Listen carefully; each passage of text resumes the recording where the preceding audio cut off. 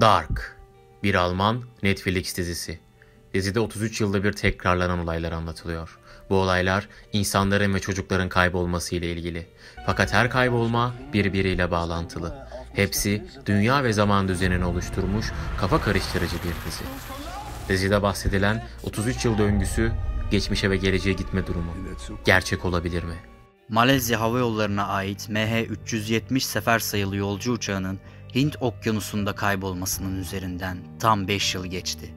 Bu olay Dark dizisindeki döngüye oldukça benzer teorileri mevcut. Uçakta tam 239 kişi vardı. Sizce bu uçak döngüye girip zaman yolculuğu yapmış olabilir mi? Bununla alakalı Japon tarihçilerin farklı teorileri var.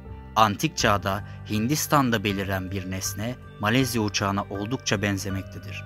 Duvar çizimlerinden ve kalıtlardan anlaşıldığı üzere bu cisim aslında bir kuş olarak simgelenmiş ve karnında 239 tane varlık çıkarmış.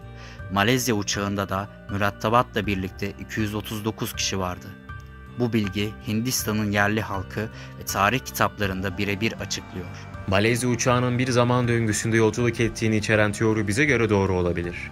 Eğer öyleyse dizideki zamanda yolculuk olayı gerçek olduğu ispatlanmış olur. 33 yıl döngüsüne gelirsek, dizi aslında bu konuyu içeriyor. Dünyada gerçek zaman diliminde böyle bir olay var olabilir.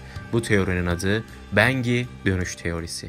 Bu teoriyi öne süren ünlü felsefeci ise Nietzsche.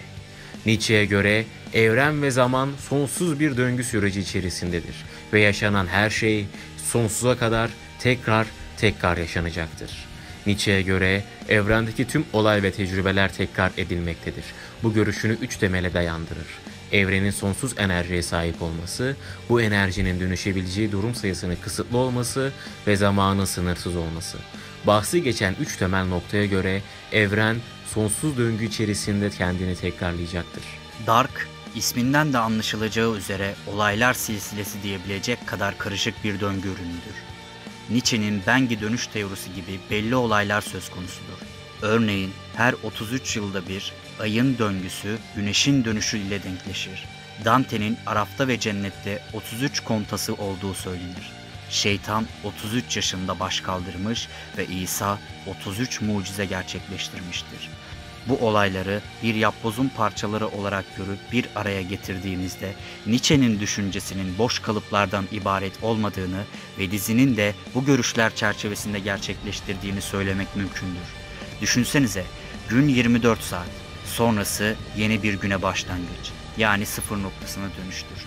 Aylar, yıllar, yüzyıllar hep birer sayı ile nitelendirilir. Tüm canlıların hatta dünyanın bir yaşı, bir sonu vardır.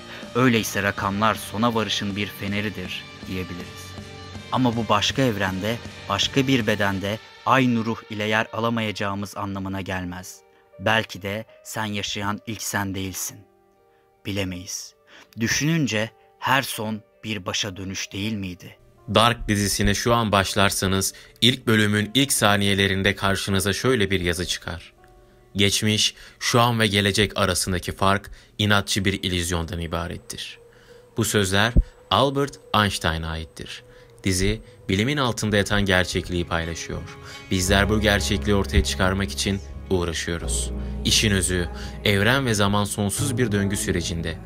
Yaşanan her şey sonsuza kadar tekrar tekrar yaşanacak.